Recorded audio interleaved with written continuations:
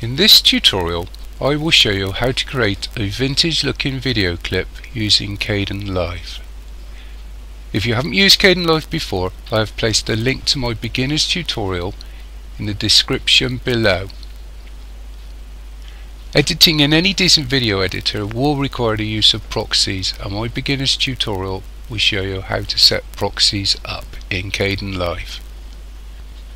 Once your video clip is loaded on and as I've said before you've got a proxy. I'll just briefly explain what a proxy is. It's a very low definition copy of the video that you're going to be working with and in by doing that you don't get lagging when you're uh, moving your bar across or your computer just doesn't slow up.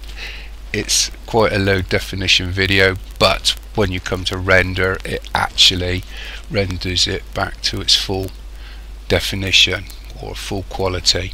Okay. Like I said once you've got your video clip in the timeline left click on effects.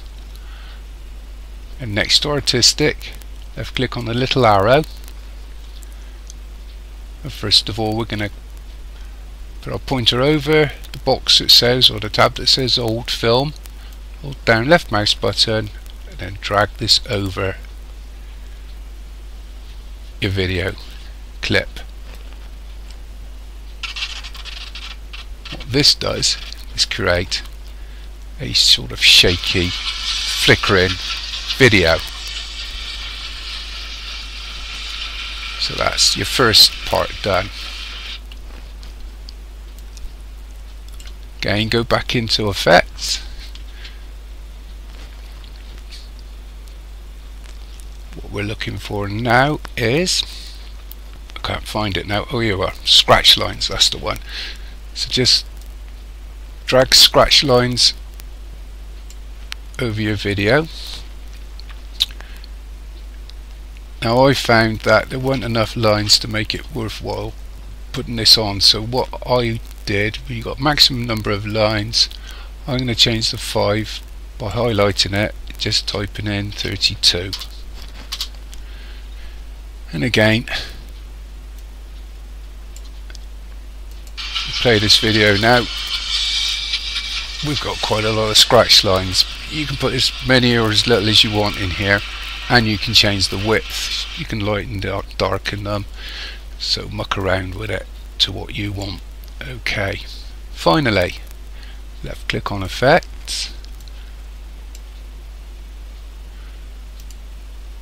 close that down and then go next to color left click on color.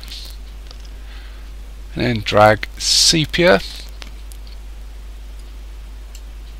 onto your video clip. And again you can change settings here. I'm going to leave it the same but when you change something just make sure you remember what the original figure was. You can always change it back. And uh, that basically will create a reasonable looking old fashioned film really with the scratches. And that's about it. So usual thing go to rendering. Like I said before if you've not used Kdenlive I suggest you look at my beginners video. Um, thank you for watching. Cheers